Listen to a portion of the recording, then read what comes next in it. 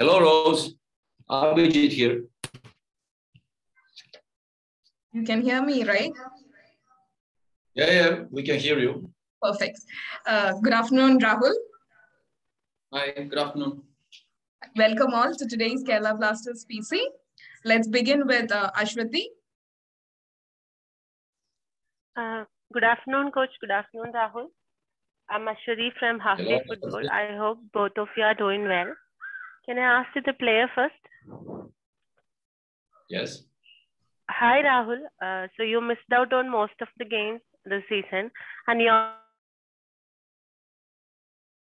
coming, which will decide the playoff spot. So how hard is that? And as a local player, how important is it to qualify for the semi-finals? Uh, I think for sure, as a local player, as a part of team, it's really important for us to qualify. But uh, also coming back from injury, it's really hard matches. But uh, I think what I've been doing is like, you know, controlling what I can. Like, you know, injury is not in my control. That happens. So after that, what I could do is like coming back, and I was focused on it. And uh, really thankful to everyone in the club, coaching staff, all the physio team, and the club itself because they really took care of me and they were really showing interest that you know i also felt like you know they still want me back and that was a really great feeling and now important part of the moment right now for us. So we are focused on the tomorrow's game. Okay thank you rahul. Hi coach.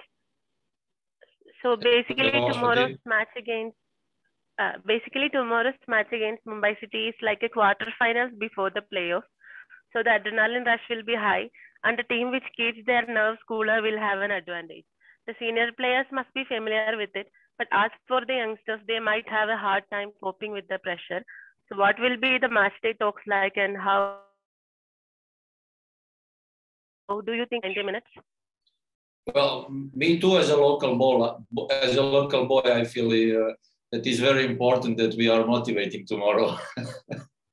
no, of course, it is a nice uh, nice picture you know uh, we were speaking about these uh, moments long time ago you know as a football player when you start uh, playing football you dream about and uh, you work hard for uh, these kind of games so tomorrow it doesn't matter if you are a senior player or a young player of course this is nice experience and a nice opportunity to, for all of us to play a good game so that's it so it's a good game good opponent and that's everything you uh, you wish for as a football player. This is uh, the, the thing that you're dreaming about to go on the pitch and uh, play against the good teams, trying to achieve something nice. That's the beauty of football. So we have our preparation. It doesn't change a lot uh, comparing to other games. So uh, this is what we do. This is what we will do today to prepare this. We'll be ready to show our strength on the pitch. So that's all. Uh, coach, uh, thank you, coach. Thank you, Rahul. Uh, all the best for the game. Thank you, Ashwati. Can we have Krishnan's question, please? Hi, coach. Hi, Rahul. I am Krishnan from Godson. Hello, Krishnan. Um, hi, coach. Uh, so my question to you is, um, like this is a do or die match for us. We need a result uh, to keep keep our playoff hopes alive. Uh, in the first half against Chennai, we created a lot of chances, but uh, most of us, most of the players snatched on it, and like it felt like uh, uh players are under uh, somewhat pressure to get the result. So, uh, what do you say to players in such instance? Like tomorrow is a, must-win game also. So, how do you manage that? You know, there are games where uh, everybody was saying, you know, it will be an easy game against the opponent who has nothing to lose. They're already out of, of the race. And you know, uh, when you have these kind of games, uh, these games are the most difficult to win. Then in the first half, when you face uh, uh, an organized opponent, uh, of course, you have to find the way to break them down. When you are facing strong, organized, organized opponent, you know, sometimes it's not that easy. A football game of 90, 95 minutes, you need to use every moment to try to uh, find those uh, chances to create them in order to score goals. Which in the first half, of course, it was, was not that easy. In the in the halftime in the dressing room, we uh, uh, we talked to each other. So we uh, we showed uh, what movements we could use and what we could create in uh, in certain moments and parts of the field in, in order to create those chances. So the boys they responded very well, and in the very beginning of the second half, we broke down the zero down as an opponent. They had to go a little bit higher. It opened uh, more opportunities for us, of course, where we scored uh, scored more goals, and that's the football game. Because in every football game, everything is uh, different. All games are different. You never know what can happen. So when you are facing now at the end of the competition, uh, opponents who are well organized, and you have to break them down if you are in possession, or you have to defend when they are in possession. These kind of things now at the end make difference, uh, especially when you are now in a tight race where the small detail can make it. So, of course, in a half time, we had to reorganize certain things. We had to change certain approach, and that was it. That resulted with uh, with our victory. So, and now in the last two games in this competition, we'll have to manage those moments. You know, recognizing how we have to do the things and uh, how we have to organize and manage those games. So that will be the key for uh, last two games in this competition. Okay, coach. Like a couple of injury updates. Uh, is Jackson an issue? All are available, or uh, are they still in recovery period and all? Uh, yesterday, today we have a, this afternoon we have a training. We'll see what uh, the situation, how it will evaluate, and after the training we'll see if we can count on them or not. We have today's training at uh, 4:30, so we'll see today. We'll still look on. Okay. Uh, my question to Ra- okay, okay, okay. My question to Rahul is like you got injured in the first match, and uh, then uh, how frustrating was it to, to sit out and uh, like mentally uh, with all this going on uh, in the world and like in India, and again team doing very well in your absence. So how frustrating was mentally as a player to go through that period?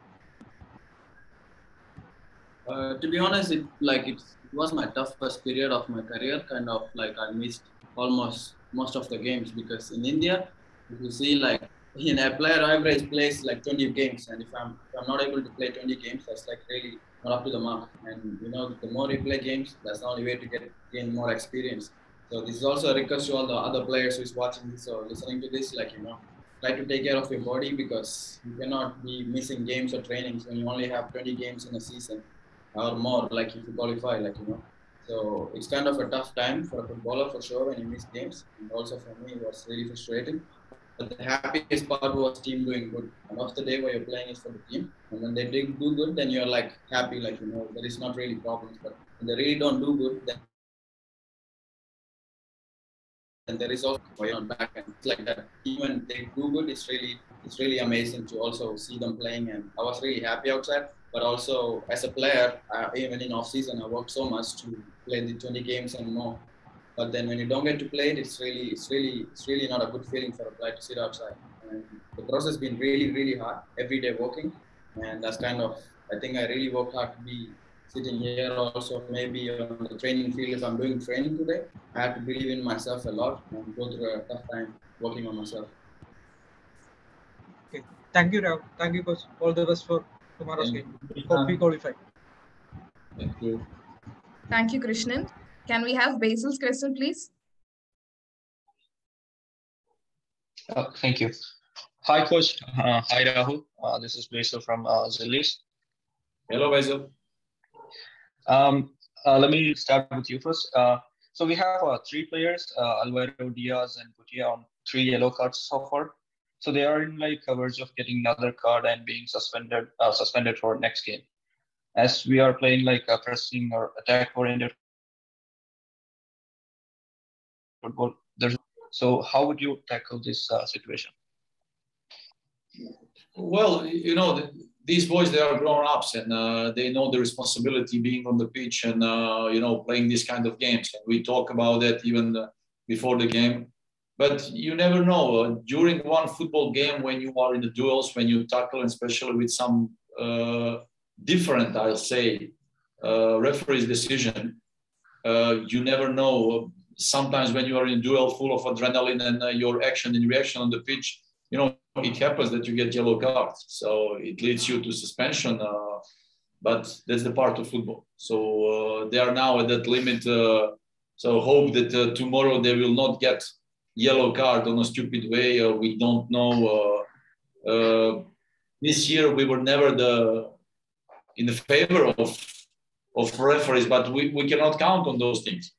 They have to be ready 100%. They have to be concentrated. So, and then we'll see how, how they will manage the limit. We know, and we can just uh, talk about it and say that they should be careful. So, not making stupid fouls, which will lead them to yellow cards, not discussing with the referees, not losing temper, not losing energy, being concentrated on our game. And uh, that's how they can go through. Uh, through the whole 90, 95 minutes uh, without uh, getting booked. So hopefully it will be the case tomorrow, but no, no, we'll see tomorrow. Mm-hmm, mm-hmm. And also, uh, uh, Mumbai has been playing like uh, attack-oriented football so far in the league. Uh, they are placed uh, third, I guess, when it comes to goal scoring with 34 goals or something. And on the other hand, we KBFC is the least conceded team with just 19 goals. So as we are in a do or die situation, do you think uh, scoring one or two goals and defend until the final whistle uh, would work tomorrow, or are you planning to play like all like all out at a kind of football? Seeing that the, the game is one of the final games in this competition, having a big stakes, of course, mm-hmm. there will be part of the game where uh, you want to press high, where you need to defend. So, mm-hmm. of course, our style and the way we play uh, we like to have possession. We have to press high. We like to uh, uh, to uh, have clean sheets. You know, with our defensive line, with our block. So I think that in tomorrow's game, both teams will consider organizing, having all those elements because uh, it's not like it was uh, in November or December. You know, because the difficult and different period, many things have changed since then uh, not only in our camp or uh, our opponent camp, but in all other teams. You see many injuries around uh, ISL now in all, all teams. Even I think one month ago, even uh, before that, I was telling that many teams will suffer with injuries. many teams will not uh, end up the season in full squads because that's the format of ISL. So tomorrow, I think they will try to attack. We'll try to attack. They will have to defend. We will have to defend. I think that in tomorrow's game, we'll see all elements of a football where both teams will be fighting for points. Because from point of, of, of view for, from both coaches, we want to get points. So that's it. So it will be uh, an open fight and it will be like uh, exhausting fight till, till the last moment. That's what I'm expecting from tomorrow's game.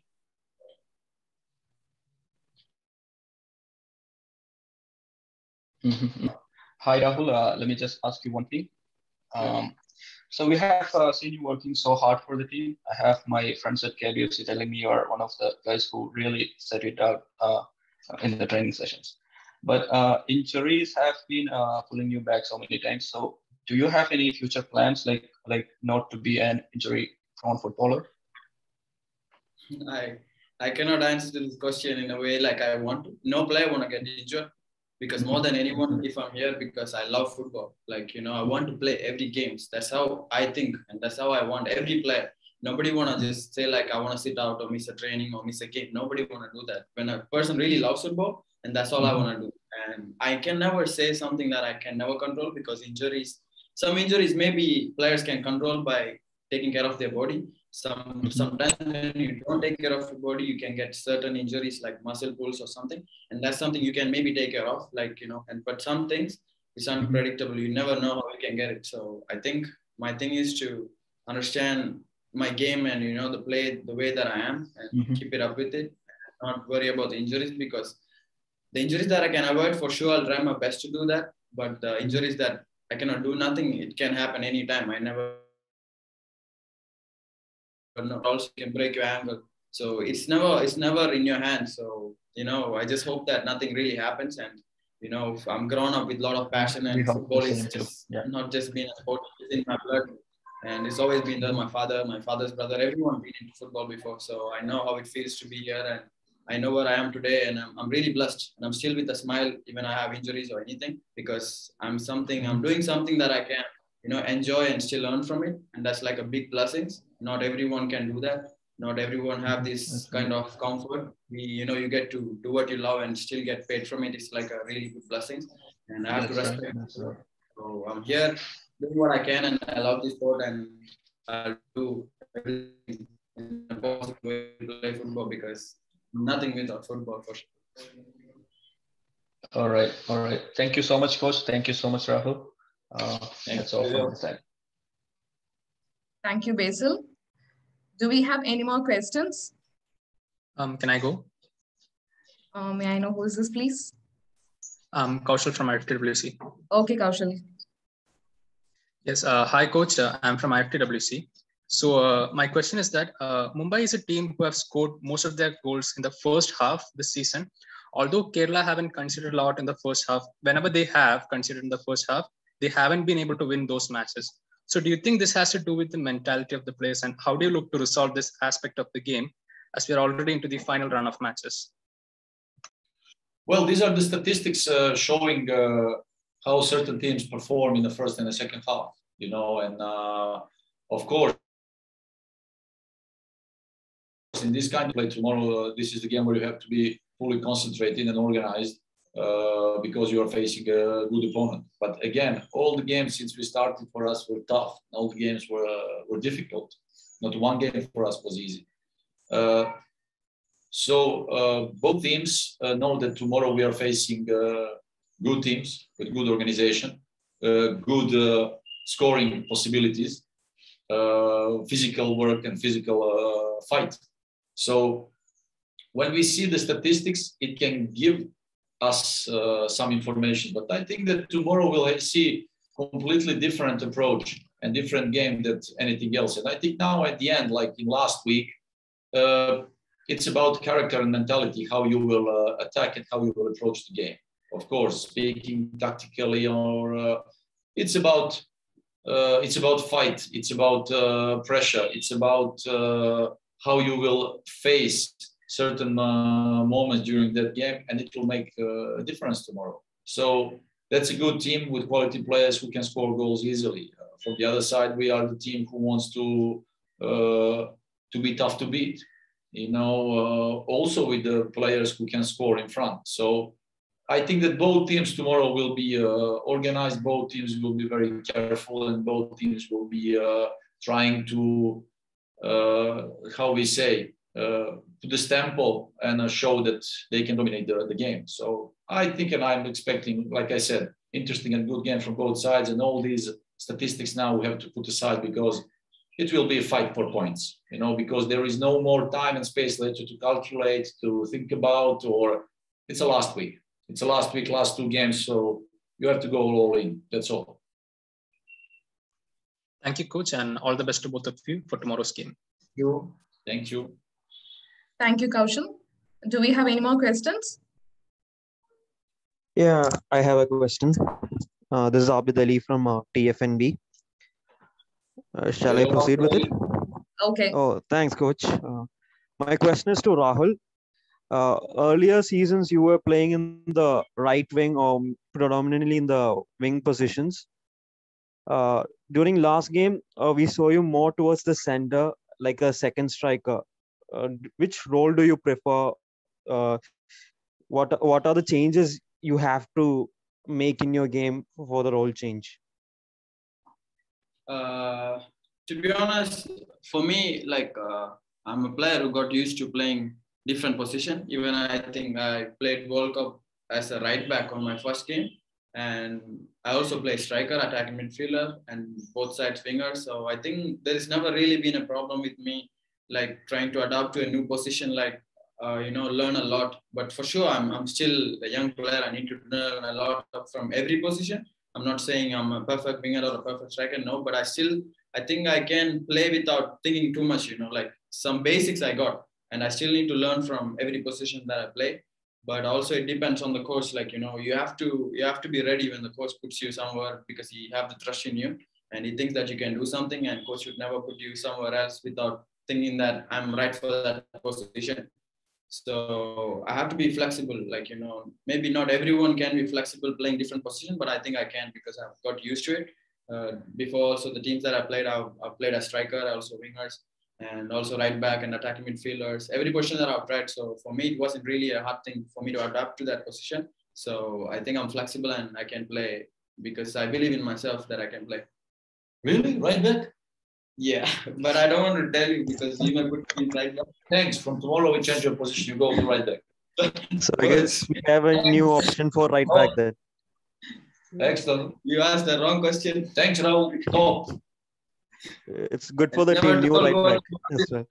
that he would put me in right back and see. And if I play good, then I will stop scoring. You don't have to be scared now. We'll put you. Don't worry. Anyways, thanks for the answer. Uh, all the best. I hope you guys qualify. Uh, all the best. Thank for you. Thank you very much, Abid Ali. Uh, thank you. Thank you. Thank you. Do we have any more questions? So I guess that was the last question. Uh, let's wrap today's PC. Thank you, coach. Thank you, Rahul, for joining. Thank you, Rose. Thank you. Good luck for tomorrow's match. Thanks. Yeah, bye-bye.